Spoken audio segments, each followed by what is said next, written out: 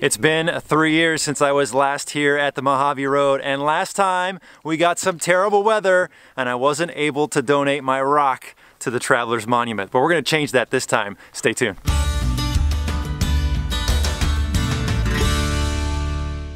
Welcome to Trail Recon. I'm Brad and I am so excited to finally be back here on the Mojave Road. This has been something I have been planning for a long time and I finally got my good buddies together and we are going to spend the next three days going across this amazing trail, seeing all the historical monuments along the way, and just doing some good camping, eating some good food, and having a great time.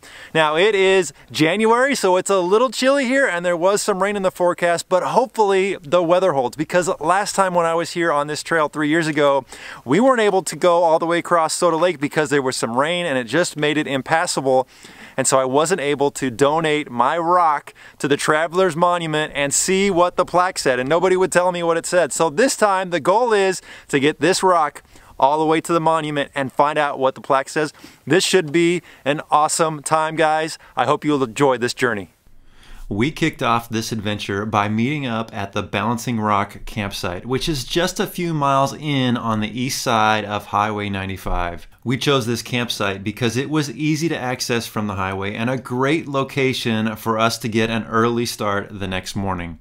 This was a great campsite that had plenty of room for multiple vehicles, offered a little protection from the wind, and was surrounded by some amazing desert views in every direction. We had a few new folks with us on this trip, so it was nice to have a little bit of time to get acquainted. And of course, my good friend Marco had his Overland Camp chef hat on.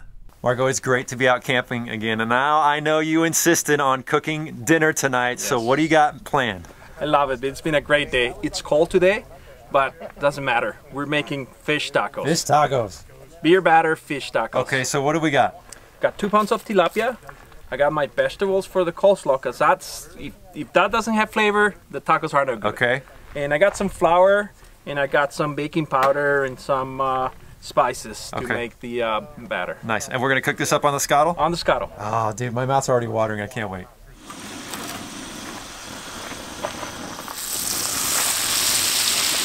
I was really surprised at just how easy it was for Marco to prepare the coleslaw and the fish batter at camp. Just simple ingredients that just about anyone can throw together, something I may personally try in the future. Nothing fancy here, but when you are camping, having a great meal just warms the soul and brightens everyone's mood. These tacos were delicious. The first night was very chilly, but we knew we would be seeing some low 30 degree temperatures during this trip. So everyone brought plenty of warm clothes, some warm sleeping gear, and everyone was tasked with bringing a bundle of firewood because what is a camping trip without good friends sitting around a campfire? Well, it is a beautiful morning and a great start to a day. It is 37 degrees, so it's a little chilly out here, but we kind of knew that coming in, so we all brought appropriate clothes. But we woke up to the most amazing red sky sunrise. Just beautiful out here this morning. Now we are just packing up the rest of our gear, airing down our tires, and then we're gonna hit the trail. We've got a lot of miles to put in today. We've got a lot of cool things to see, but there is some rain in the forecast, so our goal is to try to get to camp before the rain hits. Hopefully we can do that. After a few good hot cups of coffee and some very tasty breakfast, it was time to roll out.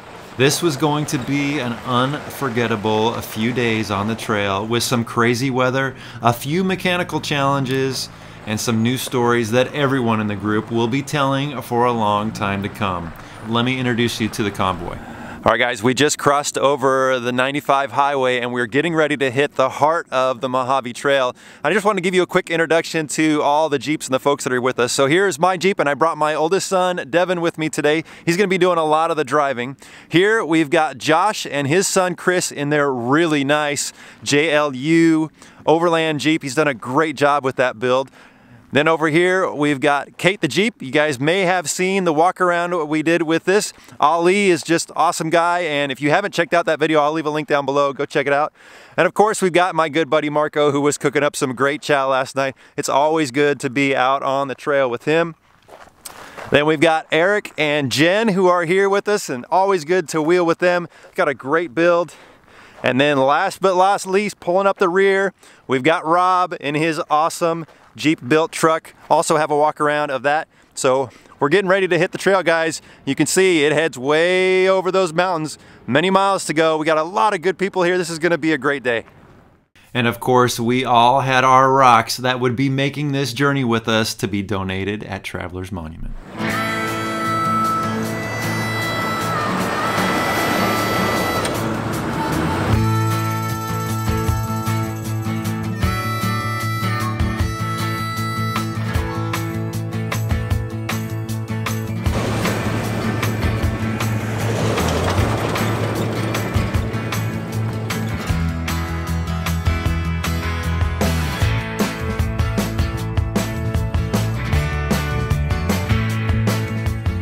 Mojave Road is one of the most iconic overland routes in the US and will take you over 130 miles across several different desert terrains.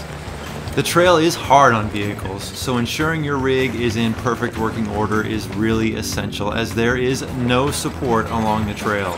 Having plenty of fuel, food and water, some basic hand tools, and your navigation route and camping stops planned out will help ensure a successful trip.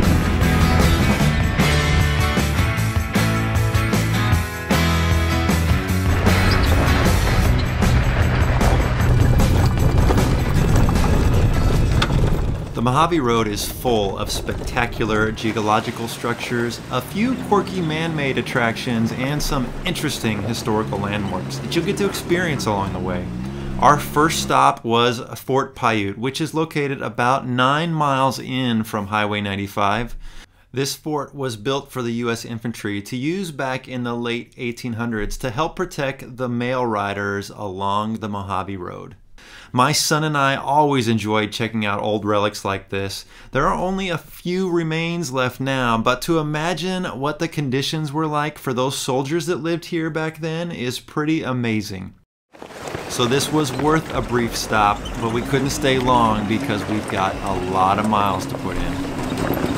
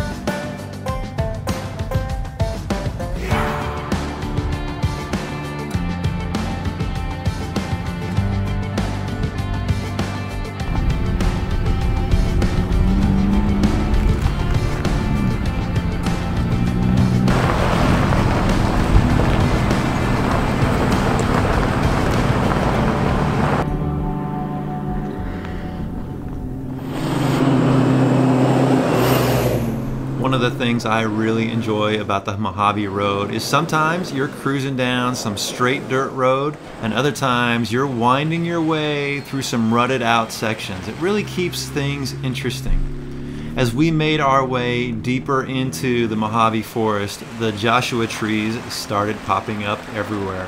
This is one of my favorite parts of the trail. Surrounded by the unique, twisted, and bristled Joshua trees is something you don't get to experience anywhere else. The Joshua tree only grows here in the Mojave Desert. You won't find them anywhere else in the world. They can reach 40 feet tall, and each one is so different from the other. You might start to question if you are in the center of a Dr. Seuss book.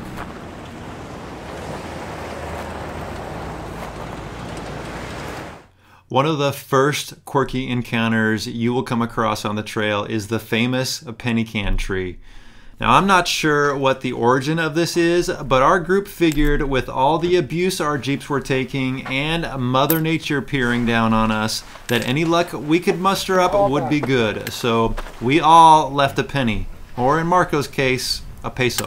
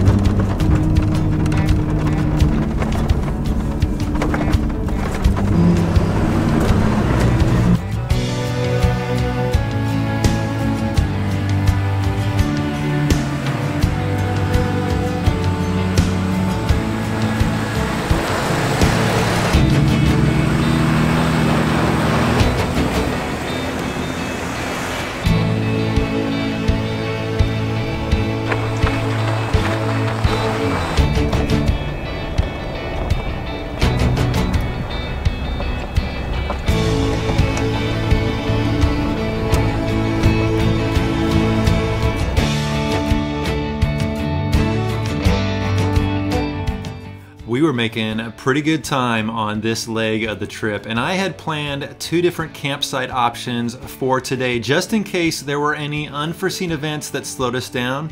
So I called a quick driver's meeting to get the team's input. So we, the decision is, do we want to go off trail eight miles, go check out that campsite, stay there. It's going to be a little higher altitude, which could mean a little colder temperatures, which is something to consider. Or we stay on the trail, get to this one a little early, set up camp, enjoy it. You know, it's past lunchtime, so we can enjoy lunch there. So, does anybody have a preference or non-preference? Unless this one is crowded. Uh, being on trail, uh, it might be, but arriving at this time of day and claiming the campsite, probably be, both would be open. Because that group ahead of us said they were going to the Rock House. I say we go check out the, the, the camp so. up there. Yeah. Yeah, because Yeah, I don't. either way's You only lose three degrees per thousand feet of elevation gain, and I don't think Whoa. it's going to be. This more is coming from the flip-flop guy, but I'm game. no, that's, that's, that's, that's on average. All right, we're taking a right. Let's do it, guys. Yeah, That decision right there was absolutely the best call we could have made and would ultimately end up having the greatest impact on the entire trip, as you will see here shortly. But first, we stopped by the old abandoned settler's house for lunch. And this old house, while run down, has sure stood the test of time. And it really just happened to be in the perfect spot. Lunch was not as elaborate as last night's dinner, but for on the trail food, this fit the bill perfectly. Now, time to go ahead eight miles north and go check out this campsite.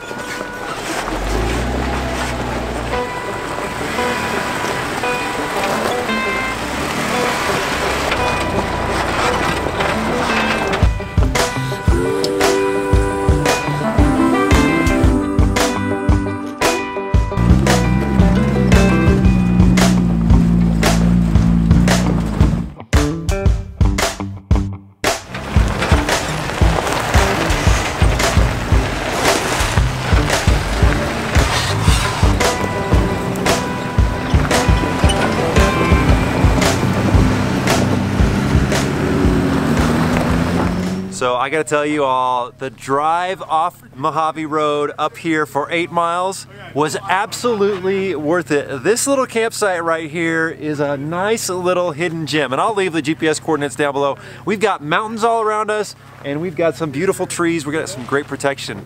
Now here's the thing, as we were coming up, we were starting to get a little bit of sprinkles. We knew it was gonna rain today, but there was actually some snow flurries, and there's some snow on the ground here. So I've got a feeling that things are gonna get a little chilly tonight, but we're gonna set up camp and uh, get some chow going. It's gonna be a great night, guys. All right, everybody is just about set up at camp. I'm gonna give you guys just a quick walk around, just take a look at everybody's gear. I think it's always kind of a fun thing to do. So here we've got Rob's setup, and Rob keeps it simple, man. I love it. He's just got the small CVT tent. He's got his full truck. Everything's good to go, nice and easy.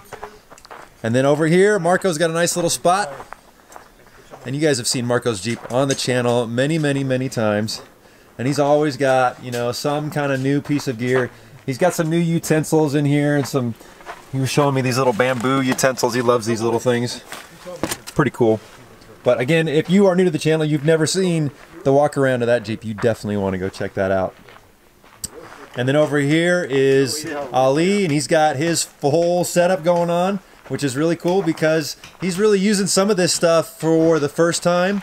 I mean, look, look at his look at his camp chef. It's almost brand new, but he's gonna put that to work tonight. He's making some kebabs for everybody. He's uh he's got dinner duty, which uh, everybody's really really excited for. But he's just got a great setup. That tent is just massive. I mean, you could put four people up there. Four easy, yeah. Very very easy. Marco's over here setting up the flat pit. We're gonna do a little bit of grilling over there. Uh, we got a big old fire pit here for where we're gonna put the camp. Uh, Josh has got everything set up. He's got his tent up there. His tent is this iCamper tent. I gotta tell you guys, that is a really nice tent. It's a very nice setup. And then he's got the full bat wing. He's got some chairs. Uh, you can see back there, they set up a little uh, private toilet thing over there. Pretty nice. It's a nice little idea. Um, good setup. Beautiful Jeep. Uh, you guys have seen my Jeep a million times, but I do have a couple new things I'll show you. Right here, I've got some non-stick GSI pots and pans. I had been using that um, Stanley stuff for a long time, but I found that I use less water when I use nonstick. And then I just got this new utensil package also from GSI. Good, good little kit, man. I like it. I'm pretty happy with it. But uh, that's what we got going on. There's our rocks. You know, we got to get our rocks to uh, Traveler's Monument. That's the plan. And then last but not least is Eric and Jen. And they've got a great setup. And he's got the Alucab 270 awning. Beautiful awning. Love it. Great little setup here. Jen treated us with a nice little snack platter when we got to camp. There was no shortage of food on this trip. Okay, so we were worried about rain, but now instead, we've got snow. I guess that's better than rain. And it wasn't long until the occasional snow flurry became a full on snowfall. This was totally unexpected. Thankfully, we had plenty of firewood because we were going to need it tonight. Ali smells good, man. You ever cooked in the snow like this before? No, this is a first. Awesome. Well, it smells great, man. I think dinner's going to be awesome. Thanks, brother. Ali was grilling up some Persian chicken kebabs, and man, they were so savory. There's nothing like warm food to warm your spirits on a cold, snowy night like this. The snow really started coming down harder and harder, and it wasn't long before the ground was covered, along with all of our tents and awnings. The weight of a few inches of snow on my rooftop tent was starting to give me a little concern. So every couple hours I got up there and blasted it off. Thankfully, the tent and fabric on everyone's tent held up perfectly over the night. Something tells me I'm going to have to do that again. Nothing like a little snow to bring out the kid in all of us. There may or may not have been a snowball or two thrown at camp this evening. And this big old fire kept us nice and toasty for several hours into the night. Well, good morning. As you can tell behind me, uh, things got a little interesting last night. We got more than just a couple snowflakes. There is probably two to three inches of snow on the ground. Let me give you a quick walk around and just show you what camp looks like. It's beautiful out here, totally unexpected. So here's the trail that we came up on. You can see it's just covered with snow and there's just snow everywhere, all up in those mountains, all in the trees. And of course, our entire campsite was just a complete whiteout. Um, now, all the snow is, we've already started cleaning up and getting ready to pack up. So we've already started scraping all the snow off the tents and everything. And very interesting that just about everybody had a significant amount of condensation inside the tent. So before I wrap up the tent, I'm gonna have to get in there and dry it up. But we're going to get some coffee, get everything packed up, and then we're gonna hit the trail today. And something tells me by the time we get down to where the snow stopped, we're gonna see a lot of mud because it probably rained down there. So today should be an interesting day, but man, totally unexpected, just beautiful here.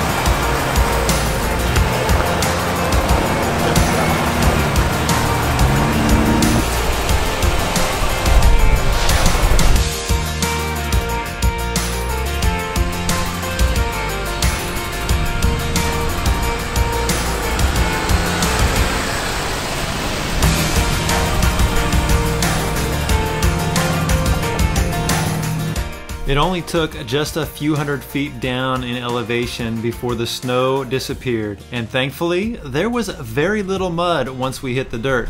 I think the Mojave soaks up all the water it gets in quick order.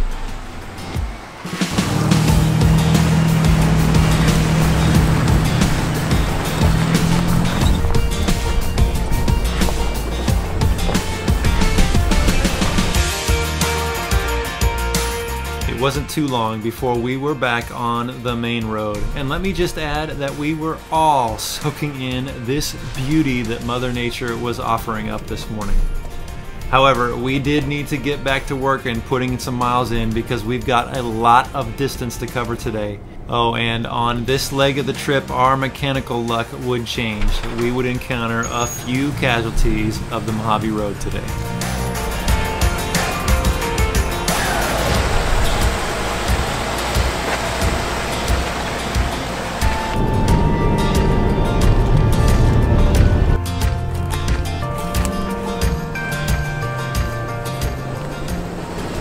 So we just made a quick stop at the campsite that we were considering staying at last night.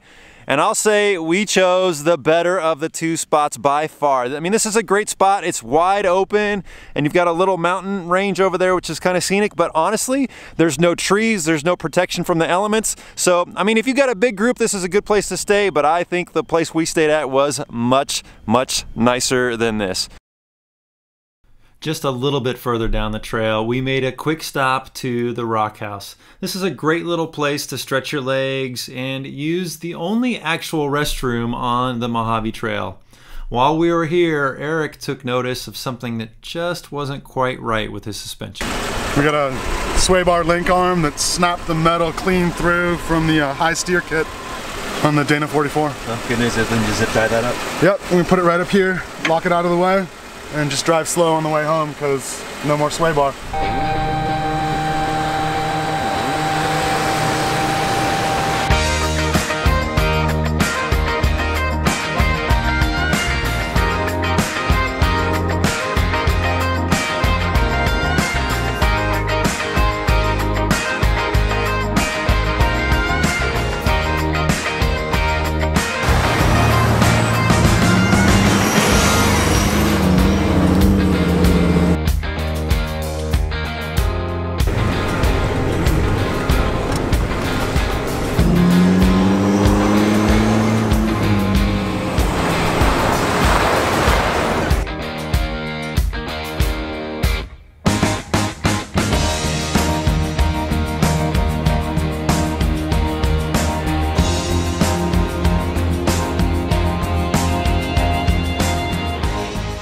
It's amazing how fast time flies when you're having fun.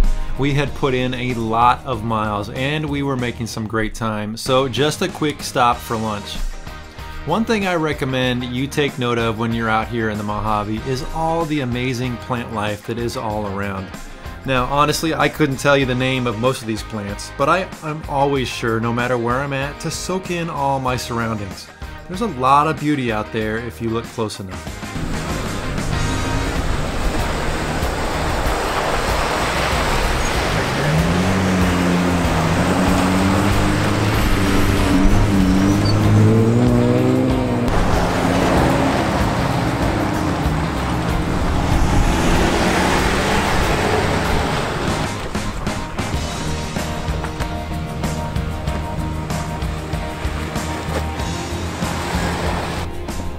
Next stop on our trip was the famous Mojave mailbox. Many a traveler have stopped here and signed in. I suppose it's kind of a Mojave Road a rite of passage. Just on the backside of the mailbox is some strange and bizarre monuments.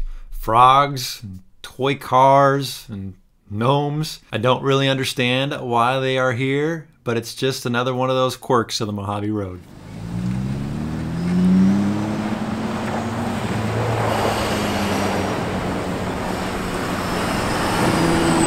Just a little further down the trail, we made a slight detour to go check out the lava tubes. The road leading up is rough, and we experienced the second casualty of the trip. Marco's tire sidewall must have caught a rock just right. But with plenty of helping hands from this team, the tire was changed out in quick fashion, and we were back on the trail.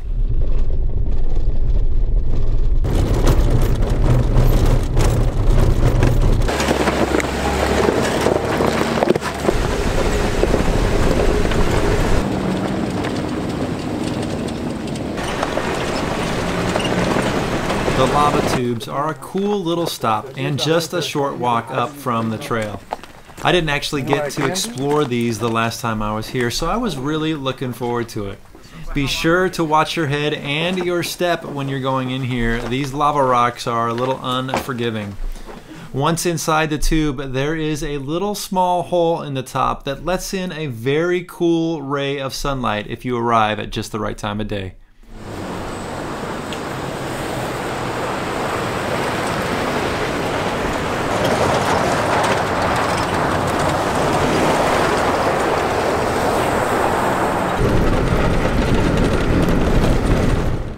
Mechanical gremlins were not done with us yet.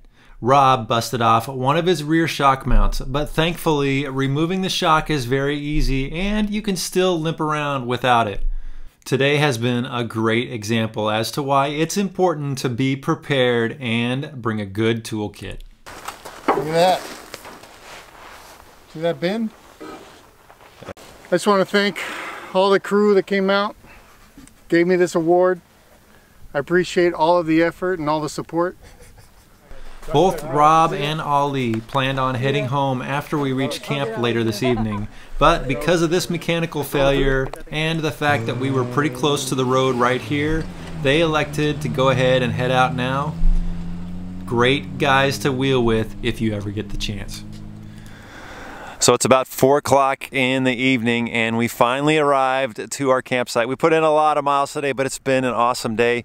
Now it's supposed to be pretty windy tonight, so we're really looking forward to having the protection of this big rock mountain right here, which should be very nice. But man, we have such an awesome view of the desert. Look at that. So amazing. It's gonna be a great night. Really looking forward to hitting the trail tomorrow and hitting Soda Lake and then finally Traveler's Monument. It's always nice to be able to get to camp before the sun sets, and this spot here turned out to be perfect. Eric's dog Samson was loving it. Marco, what's on the Overland X menu tonight? Little brie and baguette bread on the venture Skottle for starters. And we're gonna have some ahi tuna Asian style on the flat pit Nice. with some uh, Japanese fried rice. Oh, Japanese fried rice. I love it. Can't wait, buddy. All right, Jen, what are you working on? Working on some guacamole. Guacamole. That's gonna get destroyed once that gets put out on the table. So Josh, we got another kitchen going on here in camp. What are you cooking up? So we're doing some filet mignon fajitas to go with the tuna. We'll have a little surf and turf. Oh man, we are eating good tonight. I think I may have gained 10 pounds during this trip from all the amazing food. Jen cooked up one of my favorite camp desserts berry cobbler cooked in a cast iron stove over the fire. I could probably eat this whole thing by myself. There it is. She's ready. It is. I have to be careful. Yeah, you like pour it over sugar or something.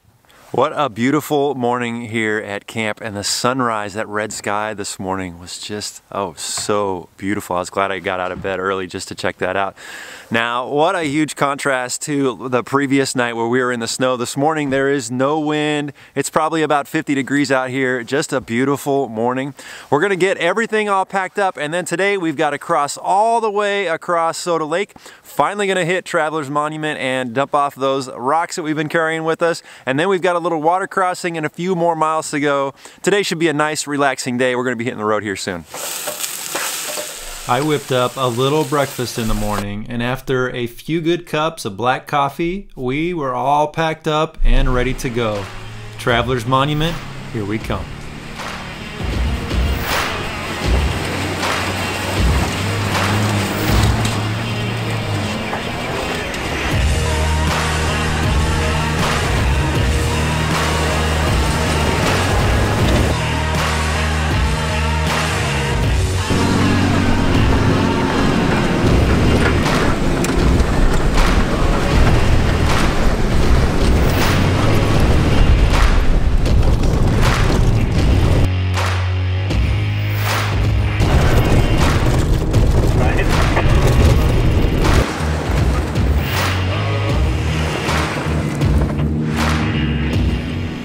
Thankfully, there were plenty of trail markers along the way because even with a good GPS, you may find yourself making a wrong turn here or there. I may have made a couple along the way that required us to do a little backtracking. We finally reached Soda Lake, and wow, it's vast. We were very thankful that it was dry because we were able to pick up the pace a bit and make up some good ground as we went across.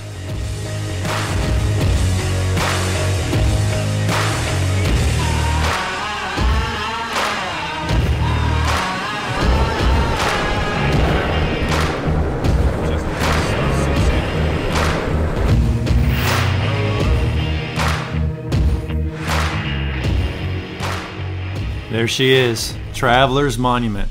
If I'm being honest, I expected it to be a little bit bigger than this. But hey, you know what? It's still pretty cool.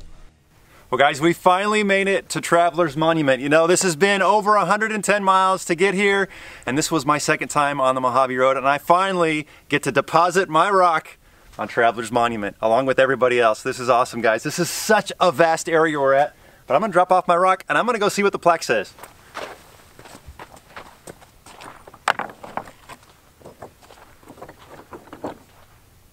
Ah, so that's what it says. I can't tell you though, sorry. There was just something gratifying about placing that rock there. We came a long way to deposit our donation to a place many before us had done the very same thing. I'll bet there are some good stories those rocks could tell if only they could talk. We've got a few more miles to go to our next hurdle, which will be the water crossing.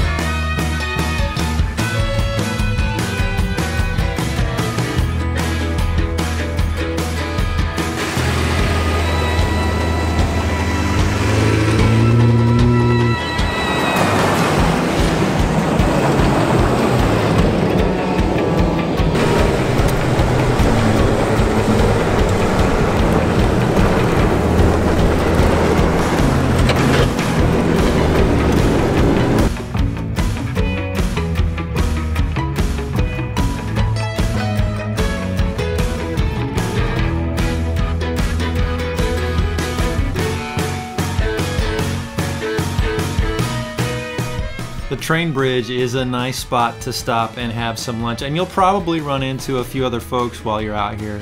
Be mindful to keep off the train tracks. This is still an active railroad.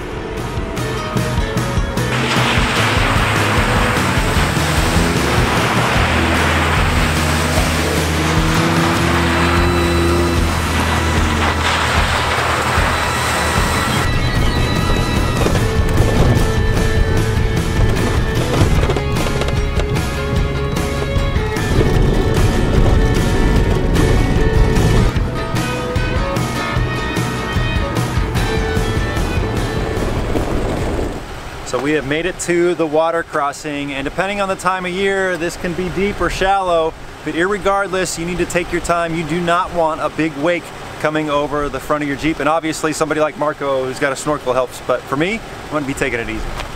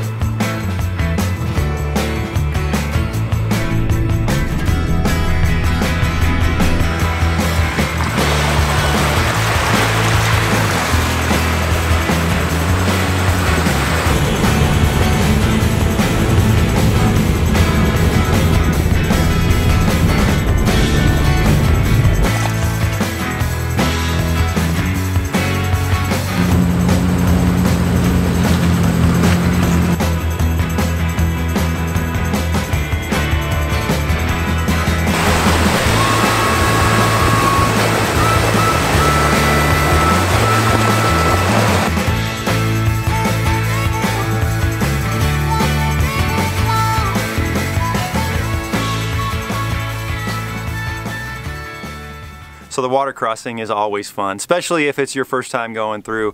But man, what an awesome day and what an awesome adventure. You know, the people that I have been here with have really made this journey just amazing. If you have never been on the Mojave Road, this should be on your bucket list. This was my second time out here and I'm so thankful I got to do the whole thing this time. It was a great, great adventure, guys.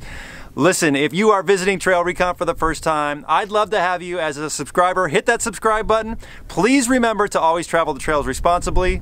Thanks for watching.